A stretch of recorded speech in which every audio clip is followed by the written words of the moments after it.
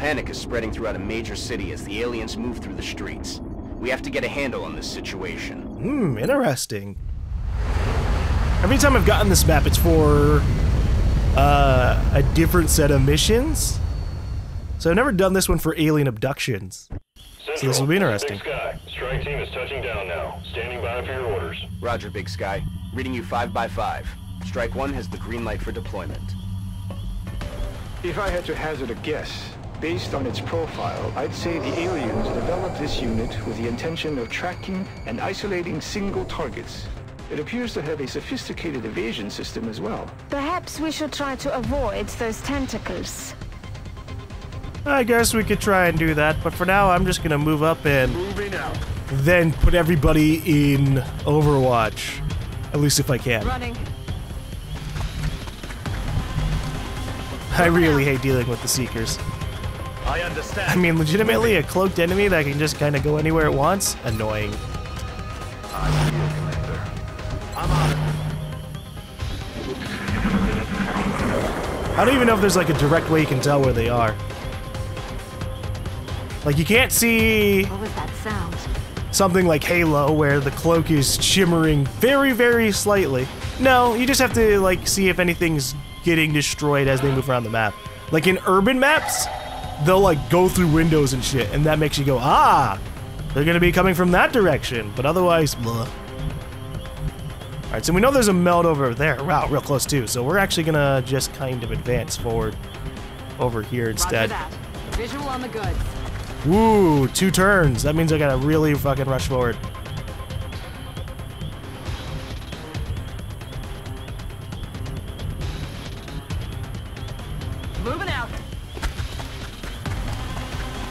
I need the meld, especially now that we're so close to being able to to build and upgrade people with it. Roger that. Scanning. Moving to position. I have it covered. Alright, Zhang, you're probably gonna get strangled for your very first mission.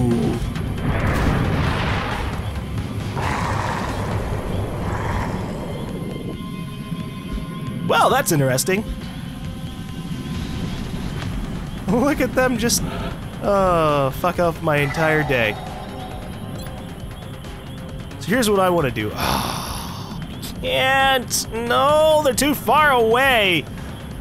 I was gonna blow them up. I don't want to waste this meld. So I'm just gonna I'm gonna do what I can and hope for the best. Secured.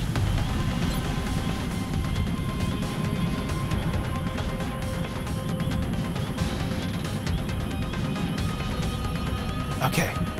Toss a nade. Whoop whoop whoop. There we go. Catch.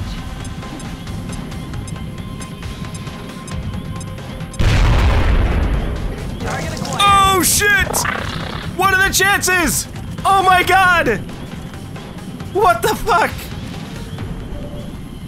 Uh. Uh oh. Oh, I didn't know she only had. Oh. Fuck. Heading there now. I thought she had a grenade. I fucking thought she had a grenade, guys. Oh no. Oh god, no. And you're sure you can't rocket that fucking shed to oblivion? Golly. Heading to that location. Affirmative. At least I got the meld. That's a positive. Uh, let's see if I can toss this nade uh, anywhere close by. Nope. Fuck it. All right, we're shooting then. Hostile neutralized. On Overwatch. Okay. Like I said, this isn't a mission to try and capture people, so I'm totally fine with shooting these sectoids. Oh, it's not dead. Well, that works out a little bit. Our capture guy is Monsieur. We're gonna kind of bring him up very slightly. Although I don't want him to get flanked by this fucking floater. Oh well. I'm on it. Tough luck, buddy. If I can capture two sectoids, life will be amazing because that's two more plasma pistols. Incoming over here.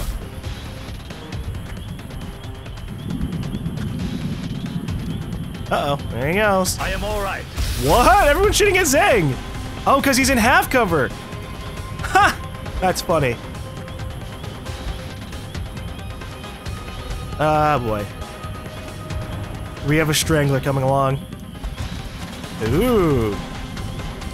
That's good. Oh, that's bad. Never mind.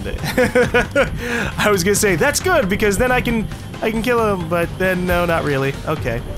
Well, I am a little bit of a stickler for not dying, so we're gonna just gonna shoot a fucking rocket. I'd like to only kill the floater because I I want I want the pistol. I have enough. I, I definitely have enough of everything else. I don't have enough range. Shoot. Solid copy. Really? Okay. Do we have anybody with a grenade? He has a grenade, but he can't shoot far. Fine, fuck it. Shredder rocket.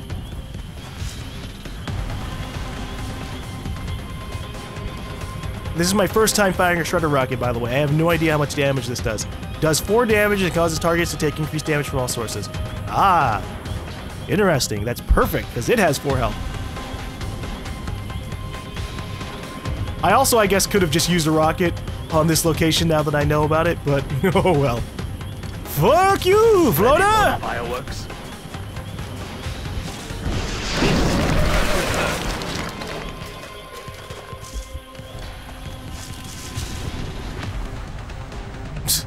And my sniper will just continue sitting up on this building. Okay, so hey, we actually have a flank on this guy now. So that's pretty good. I can lower his health.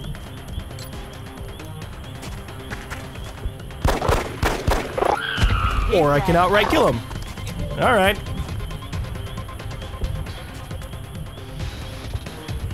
Roger that.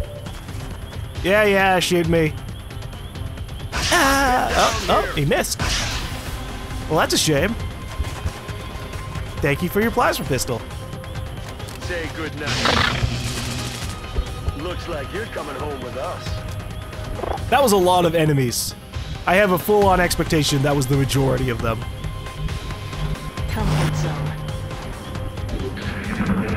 Oh, hey, I see the other meld container. I don't know how, uh, how long it has until self-implosion, but I guess we'll just run over here and find out. Oh, that's a dashing? I was hoping that wouldn't be. Alien object in sight. Four turns. That's fine. Yeah, we're, we're not in a rush. Whoa! Shit, she's dead. She is like mega super dead. The deadest anyone's ever been, ever. That is her life right now. The deadest rookie that we've ever had. Commander. Hauling ass.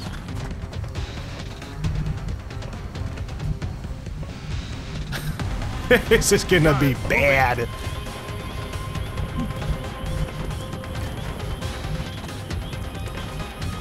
Designated position.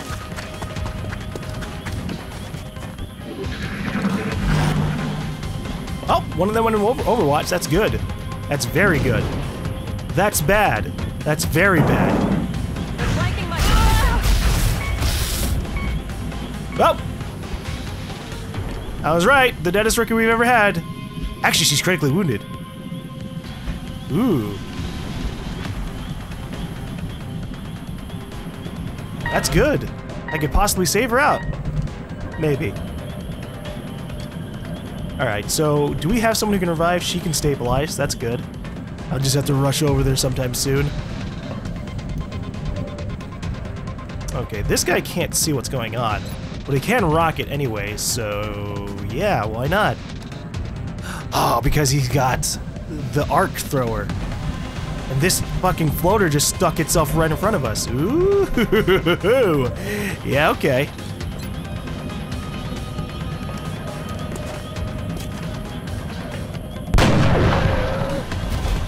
Kill confirmed. Okay, here's what we're gonna do. We're gonna move up, we're gonna shoot it with a pistol, and then we're gonna stun it. Ah, I'm a floater, I'm in the air, and I have a height advantage. Oh shit, you're right below me?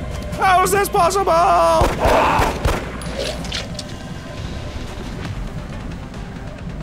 Hello, friend. I hope you're ready to join our gang. Although, we can't, like, bring you to our side, but that's fine. Hope this works. Looks like you're coming home with us. Meanwhile, Mary's just like, uh, uh. Sucks for her. She's been critically wounded. That means she's now gonna be pretty much useless to me. Heading there now. Because she's gonna have like a will debuff for being so goddamn hurt. I'll handle it. Those Seekers are gonna come around sometime eventually. I wanna see how inconvenient my life ends up becoming when they show up. Because if they stun her, I'm gonna be real salty. Alright.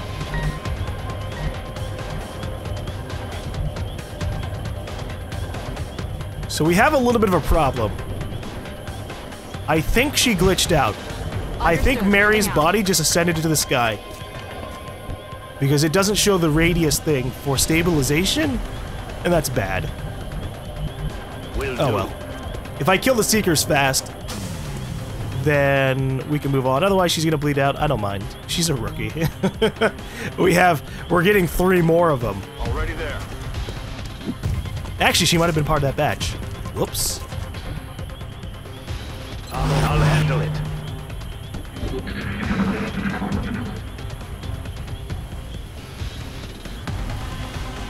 What was that? I hate Seekers so much. They just delay the game. Yep, there you go. We have one turn until she bleeds out, and I can't do it. So, welcome to an XCOM glitch. I can't revive this character that's right here because of a free glitch. Oh well. So, there might be just another group of aliens over here as well. Position confirmed. We're leaving her to die. to She's glitched out. I don't care. On the move. I am going. It also could just be the Seekers. I have it covered. Roger that. Scanning.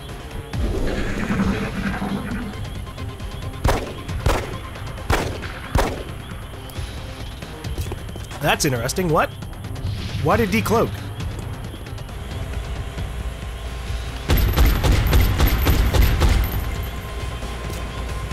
Usually they only decloak when they go to strangle, the and there you go. Okay. And usually they only decloak and strangle when they're right next to a person. So for it to like decloak and then jump out, yeah, that kind of sucks.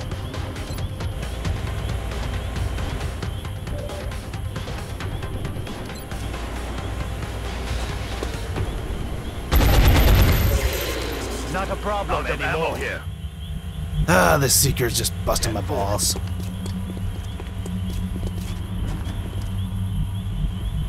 There better not be like a group of sectoids or some shit just kind of chilling out somewhere. Roger that. Eyes Scanning. on the prize. Because we could have possibly have saved the rookie if these Seekers had died earlier. Negative damage. Whoa, they can shoot! Thing's gonna blow. That's literally the first time I've ever seen them shoot! Oh god! That's not something I was expecting. Moving out. Well, it doesn't have a weapon, so it's getting blown the fuck up. How dare you? Rockets away.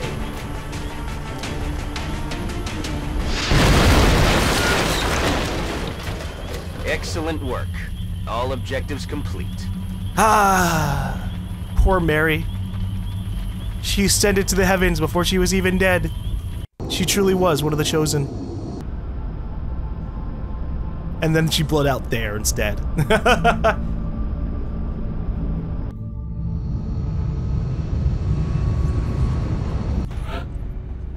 Alright, what do we got? Uh. One of my heavies is up to a lieutenant now, that's good. You can also go for heat ammo, because just having extra damage against the heavy, heavy enemies that are going to be the robots, that's good. Oh, you're squaddie. Or you're, uh... Well, yeah, she is a squaddie, but she's support. I would have liked to have seen what Mary would have become. Because we need more assaults. we need more assaults. The XCOM squad deployed to Australia successfully stopped the alien abduction in Melbourne. Australia is deeply grateful for your help and hopes that these rewards will be of use to the XCOM project. I do like money. We will be in touch, Commander. Alright, so now I can start building a couple things. We already got the foundry research into the meld substance. We should consider building either a genetics or cybernetics lab facility to take advantage of these new developments. There we go. Can I even build the cybernetics lab? Oh, yeah, look at that. I got power. We're gonna just gonna start building the genetics lab then. So that way we can get that out of the way as soon as possible, and it looks like it'll be done by the end of the month, which is good. So the only downside to like the genetics and the cybernetics labs are that they kind of they put your soldier out of commissions for like a few days, and from what I've seen, you can't use it on soldiers that are uh, injured. So if you're just trying to exploit that system, it ain't gonna work. At least from what my testing has been. So let me see. I'm gonna need power and 30 engineers to make another satellite uplink. We'll see what ends up happening. Oh yeah, I'll have 30 engineers. We'll be good. I'm just trying. I'm, I'm thinking far ahead.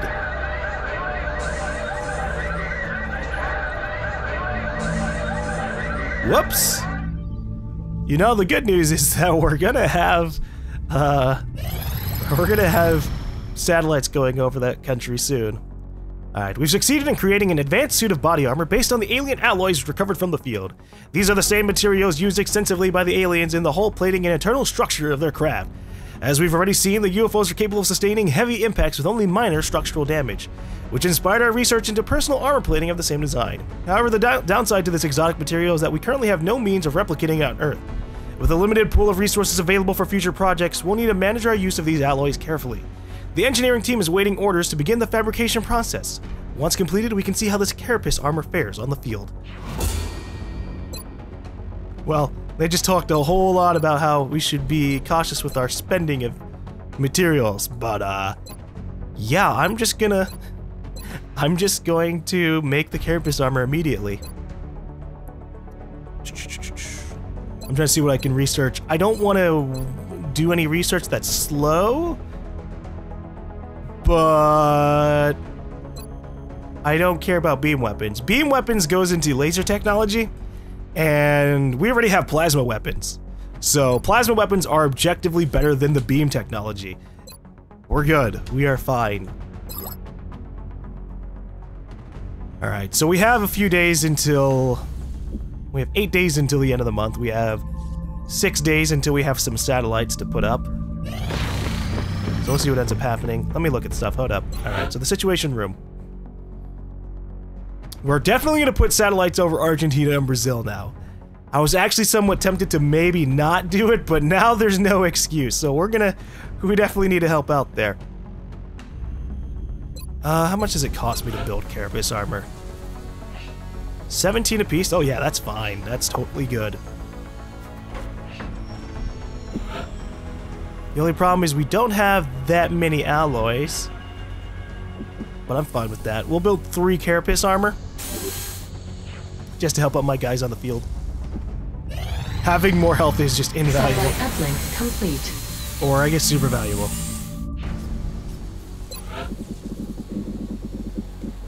Okay. I want to make another workshop sometime soon, but I guess I don't really need it at the moment because as soon as the month is finished, we're going to get enough engineers to make the next satellite uplink, and that's truly what I'm trying to go for. Then should I go for another access lift? I mean, I can't build it now because we need power. Well, that's fine. I really want this. Having extra power from that would be great. Alright, well, let's see what ends up happening. Will we be able to get one more mission before this month ends? Power generator complete. We'll see.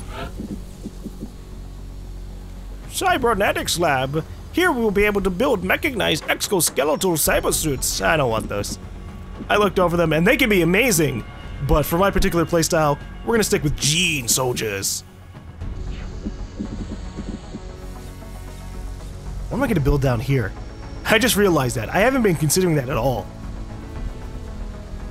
I don't know what I want to build here. Whoops. Eh, there are going to be more buildings that we can get later on. We'll be fine. Commander, our satellite is prepped and standing by for launch. We are ready to deploy it on your orders. Alright, so we're going to launch these satellites not now, but on the last day, which should be the 30th. We're going to save just in case. if I end up making a mistake, I would like to revert that.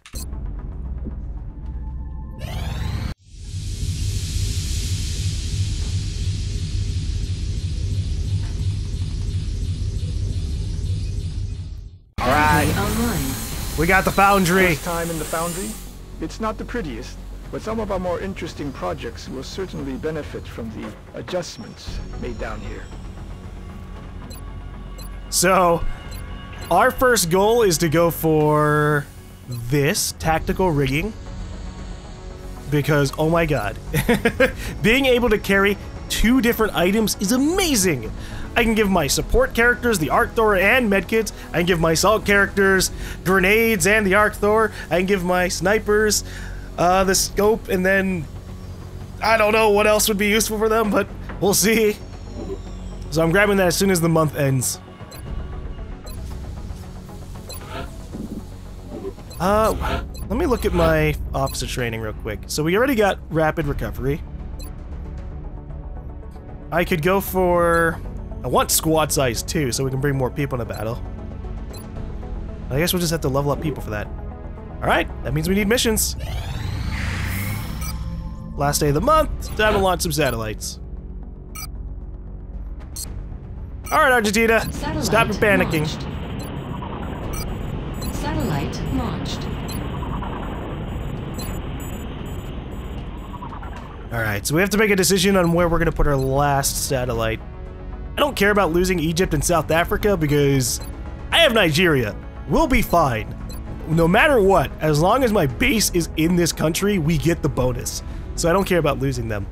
I'd prefer not to lose them, obviously, but we're gonna we're gonna go for somewhere else. I just have to figure out where I want to go.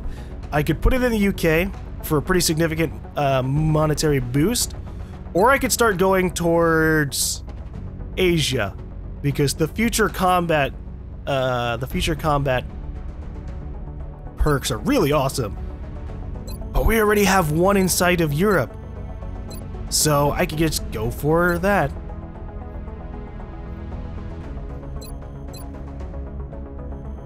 Yeah, okay. We're, we're just gonna go picking up some for United lately. Kingdom. Some nut calling himself Commander Straker has been all over the news ranting about shadow operatives.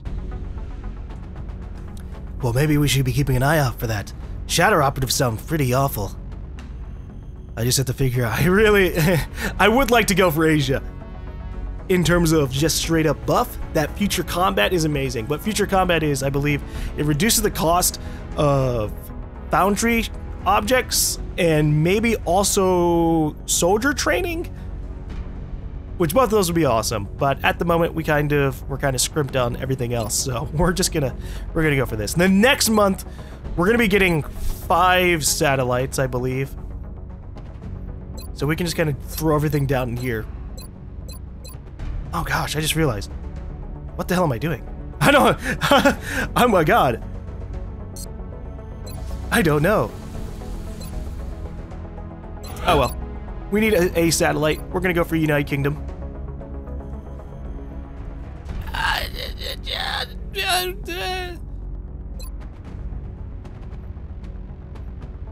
This is a real debate, guys.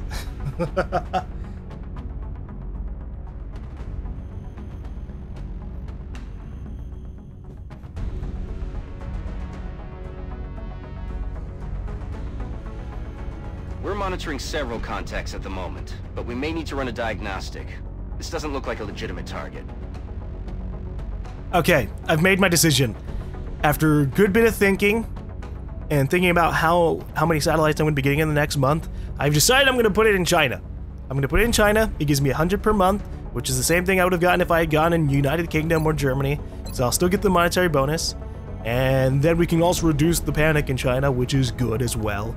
And then in the next month, when I have the next satellite uplink up, that will give me uh, the next satellite uplink will give me four satellites. because of the fact that I am going to be putting it over here in this spot. So it'll be 2 plus 1 plus 1. That will give me 4. And I can put the rest of them down and grab everything I need from that place. So we're going to go ahead and do that. We're going to launch the satellite. China. There you go. Satellite facilities at maximum And then maybe get some construction going on. Because obviously we need to be able to cover those places. So we need one in South America. And one in Asia. We're probably gonna we're gonna need to eventually do two in each country just because of the fact that uh, we're gonna be encountering harder and harder ships eventually. Okay, now we can move forward. Incoming transmission. We are extremely impressed with the progress of the XCOM project thus far, Commander. Your recent results were beyond our expectations, and that is not a statement this council makes lightly. Oh, you flatter me, Council. Yeah, I know, I know, I'm pretty amazing. I mean, look at that. North America's not even panicking. That's just like the state of the world today. Oh, shit's going on in other countries and explosions are happening? Nah, we're fine. Nothing's happening here. Asia's doing pretty solid. The only place that's doing bad is actually Africa, which is funny considering that it's the place that I had the most stuff in. Remember, we will be watching. Okay, now we have a thousand money we can spend. The new Holy shit. this morning, Commander. We're always glad to have more help down here. So we're gonna go ahead and grab uh, the tactical rigging. I can also go for the scope upgrade. But we're gonna wait on that because, like I said, having the the Asia co- uh, continent bonus will reduce the cost of things. Let me make sure I'm right about that, by the way. Okay, so I'm right. Uh, getting the Asian continent bonus will reduce the cost of everything from the officer training and foundries by 50%. So this tactical rigging, if I had Asia already, would cost me 100 rather than 200. Actually makes me think maybe in terms of my strategy, I should have gone for uh, all Asia in that first I month. appreciate your efforts to support the research team, Commander. I've already put the new recruits to work in the lab. but I think we're fine. So we're, we're gonna grab tactical rigging. We're gonna save everything else for later, so that way I can really grab as much as possible as soon as possible. Oh, I'll Oh, tactical rigging to takes seven days? Ooh. Now. You can follow their progress remotely from the project queue in engineering. Okay, so now that we have, now that we have the interrogation instantaneous and autopsy to instant, we're gonna go run through a whole bunch of these cutscenes.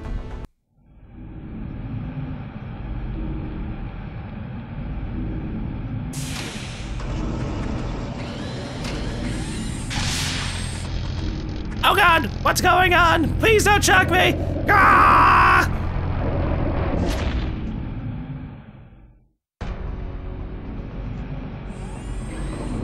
So, how'd it go, Doctor?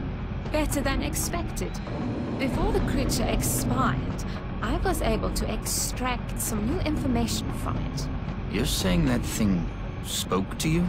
Not precisely, but when you have access to a creature's brain, certain patterns can be discerned, recent images and thoughts. And what exactly was our late friend thinking about? This particular image appeared in the creature's thought patterns several times throughout the procedure. We've already met that thing, Doctor. This is hardly the kind of breakthrough we were... And there was a neural link in the creature's mind between this image and this one. That's the thing that pulled a disappearing act when we shot down our first UFO. And let me guess, you want to poke around in its head too. It is the next piece of the puzzle. And this time, instead of shooting it, I suggest we try to capture it alive. it's funny because we already captured the outsider. Research the outsider shard. Yeah, we can do that. Our interrogation of the small alien captive was a learning experience for all parties involved. Although traditionally inter- uh, an interrogation would imply a discussion of sorts, perhaps under coercion, that possibility was out of the question given these unique circumstances. We were instead forced to undertake a more aggressive approach, namely through a series of invasive cranial probes inserted into the subject's prefrontal cortex. That poor little bastard. By interpreting the captive the captive's responses to various stimuli, we were able to discern a great deal of information, more so than I had originally anticipated. Although it seemed to have little understanding of the various modification it had been subjected to at some point in the past, we did garner some information relating to the aliens' miniaturized implants and power cells used in their weaponry. We've already begun analyzing this data for possible incorporation into future advanced weapon prototypes, including several power-intensive beam weapons. Yeah, I don't need beam weapons, but that's interesting. Alright. So we're gonna start interrogating and autopsying everything, which should give us a lot of research credits and speed up everything massively. Even if I don't have the resources for it, like the alien nav computer. I need two intact UFO flight computers. That might take a while. But now that we have uh, interceptors in the other countries, we might run into UFOs a little bit more often, which should be nice. I really would like the idea of being able to grab those. Let me run through these more. We've made a number of interesting discoveries based on the autopsy results of the alien specimen you brought back. The research team is now referring to this particular variation as a sectoid, based on the unusual structure of its internal organs, which we believe to be the product of genetic manipulation. As we've seen in the field, this species also seems to harbor some sort of telepathic ability. Okay. It's actually really funny that we're able to kind of resist the the telepathic ability, and by that I mean the containment structure, not not the human mind. Uh, it's really amusing. For we built the containment thing and just immediately had glass powerful enough to resist telepathic attacks, which is uh, impressive, Shen. Alright, we found no discernible genetic variance between any of the small humanoid aliens that have been examined thus far. They are perfect genetic copies, each and every one of them. The subject's brain is quite sizable with respect to its body, and appears to have been augmented even further with cybernetic implants of some kind. Considering that the fragile nature of this creature's physical form, it is safe to assume that these implants were intended to somehow improve the combat effectiveness of the species. Dr. Shen and the engineering team might have already developed several theories as to how we might be able to adapt these implants for our own use. Additional tactical information may be available in the field when viewing hostile targets in the unit analyst uh, view. Dr. Vahlen's personal note cloning, genetic manipulation, biomedical implants. The implications of this technology and the aliens' motives are not reassuring. And then we also got this, which might be pretty helpful. Activate this module during interception to provide an immediate a temporary boost to our unit's accuracy. The module will burn out after one use. Its technology is based on sectoid implants and allows us to send a data pulse through our satellite network. I'm gonna grab one of these because I've never actually used the boosts, but they'll be pretty useful for some of the uh, bigger ships to fight against.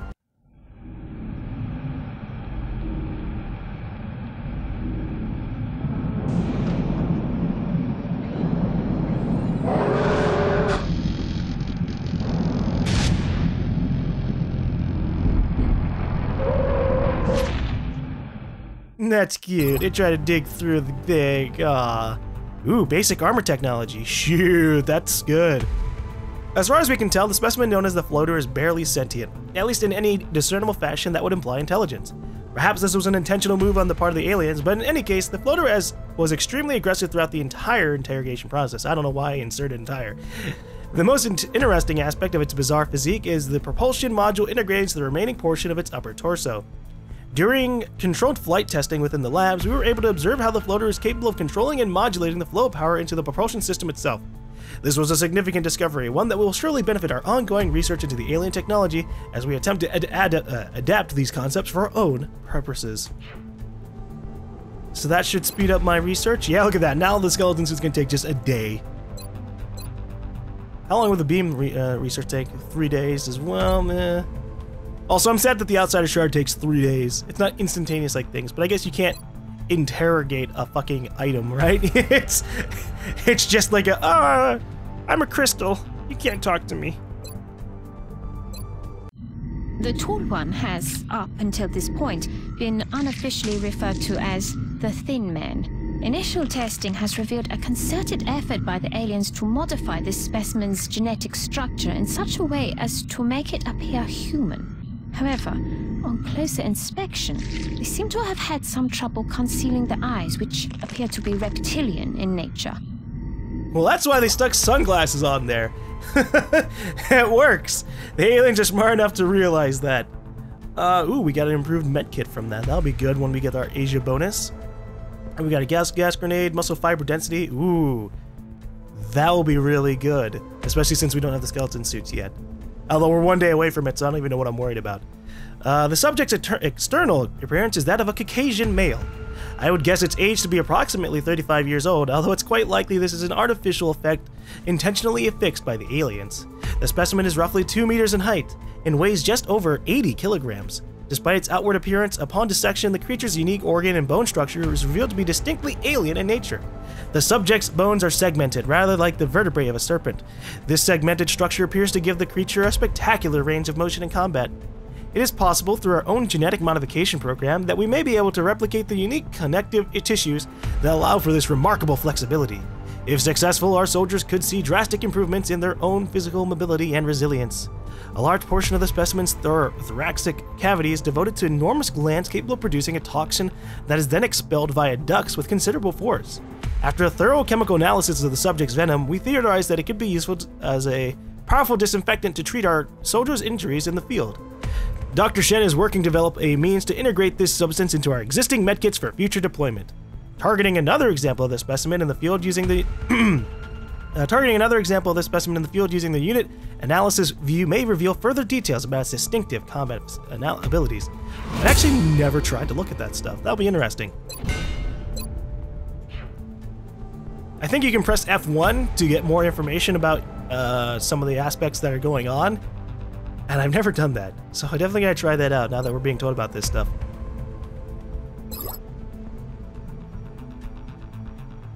Excuse you, you're supposed to do the thing instantaneously, like this. Although I'm sure you can make the connection yourself, we've designated this particular specimen as a floater. The research team is continuing in its efforts to determine how the aliens prevented the organic tissue from rejecting the mechanical components, as they seem to work in perfect harmony with one another. Okay. Ooh, we can make our ships be able to dodge.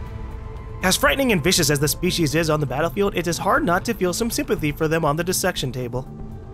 The specimen has been subjected to extensive biomedical modifications, some of which were undoubtedly quite painful and intrusive.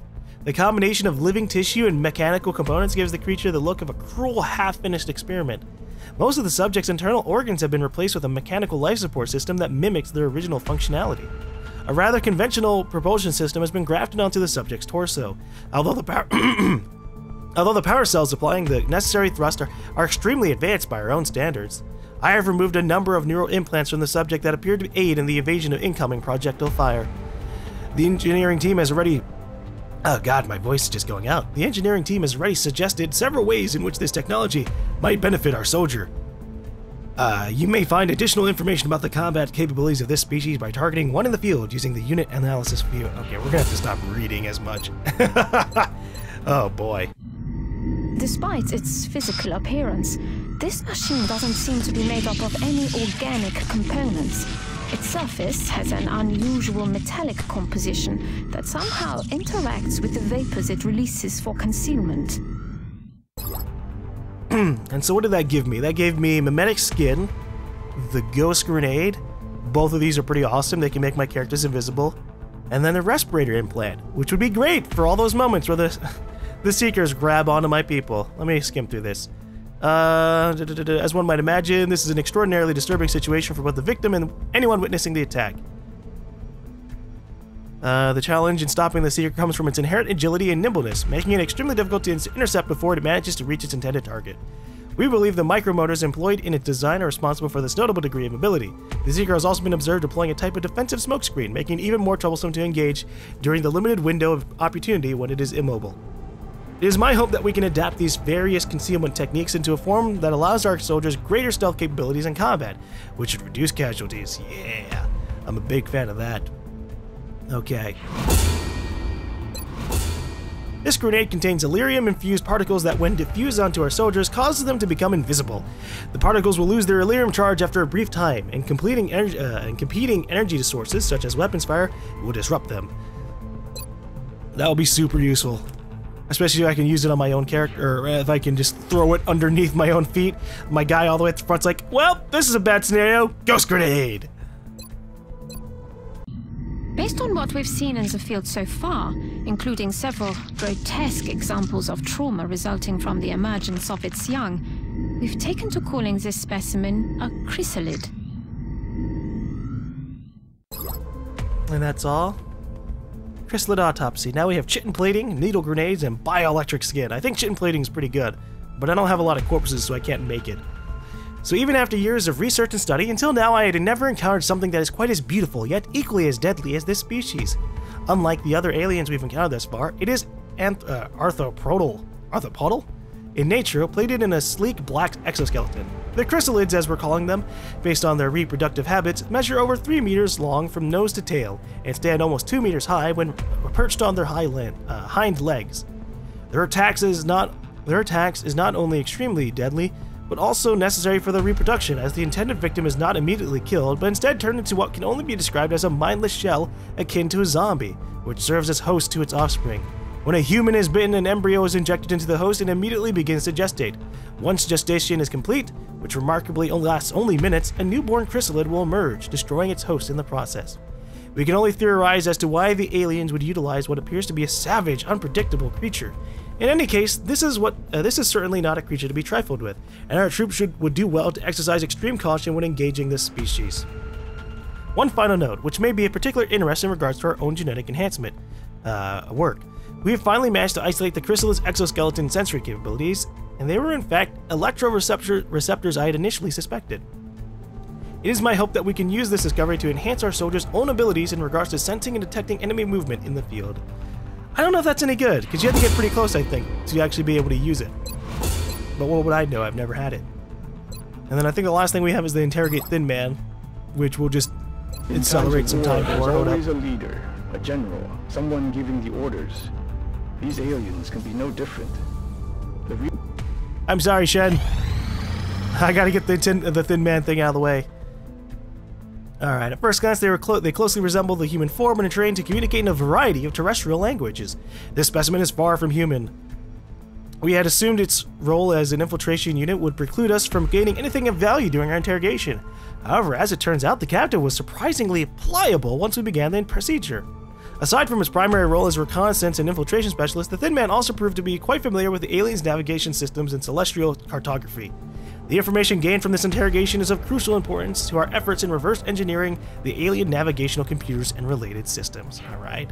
So, what will that do for our stuff? So, we still have significant time to research plasma weapons, which is a little bit of a shame. That's my own fault for not having as many uh, labs as possible. But hey, at least we can research skeleton suits, which will be super useful for my snipers. Let me look at my soldiers real quick. So we have a lot of soldiers that have classes, which is pretty good. Most of my people are out of the out of the med bay, which is great. We have lieutenants. We don't have any lieutenant snipers, so we definitely got to take Gabriela Vega longbow a little bit out on the field. So let me actually begin constructing some stuff. So we want to make one more satellite uplink, which we have the money for, so we can do this. And this is going to allow me to make four more satellites, or launch four more satellites. So we're going to go ahead and ready start constructing those. Uh, satellites, four, and then we will even make an uplink targeting, or even two of them, because wow, they don't cost that much. Okay, they cost sectoid corpses, which we aren't running into a lot of them, so never mind. what? Uh, Ghost Grenade. We need four Seeker Wrecks to be able to construct one of these. Ouch. We're gonna have to kill more Seekers. That's never good for us. And then for the chitin plating, we need a whole lot of chryssalids, obviously. Okay, do I have enough power to expand? I do. We're gonna need to do some heavy work to be able to just kind of like expand across here. I don't know what I want to do with this facility, with these facilities over here. But I think we're just gonna probably have to do another power generator right over here, so that way we can connect it with a steam power generator. So I'm gonna do that actually, because getting more power generators as early as possible is great. There you go. My my base is super haphazard. Oh my god. Holy crap, we're just all over the place. Alright. Now we can actually progress forward. We have a ton of extra money that we're gonna save for certain things, mostly construction. Obviously, I could spend it on officer training, but the only ones I'm gonna ever like directly spend it on, at least until the Asian bonuses are up, we're probably gonna spend it on squad size, and then we're gonna save up for everything else. Because once I can get this stuff, it'll be great. For now, though, I'm gonna take a little bit of a break because I gotta eat breakfast.